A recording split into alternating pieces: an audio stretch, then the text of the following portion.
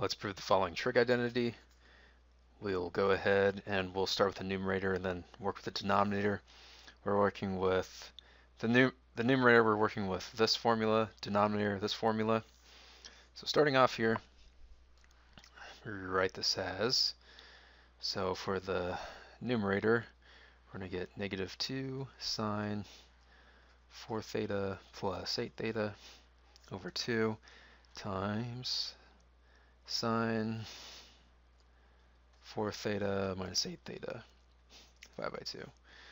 For the denominator, we're going to get 2 cosine 4 theta plus 8 theta 5 by 2 denominator, or excuse me, times cosine 4 theta minus 8 theta divided by 2. Pulling this out more, so we can see, so this becomes, we can get rid of the, the, the 2's. So on top here we get negative sine 6 theta times sine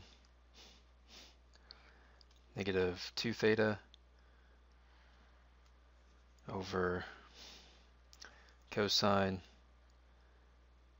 6 theta times cosine negative 2 theta. And with the sine here, the sine right here, uh, you can pull this negative out, so these this ends up canceling this out. And for cosine, it's an even function. You can just get rid of that. So simply it becomes sine 6 theta times sine 2 theta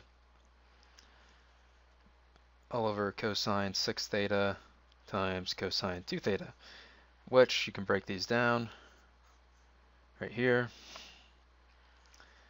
And it becomes tangent 6 theta times tangent 2 theta which is what we were looking for above.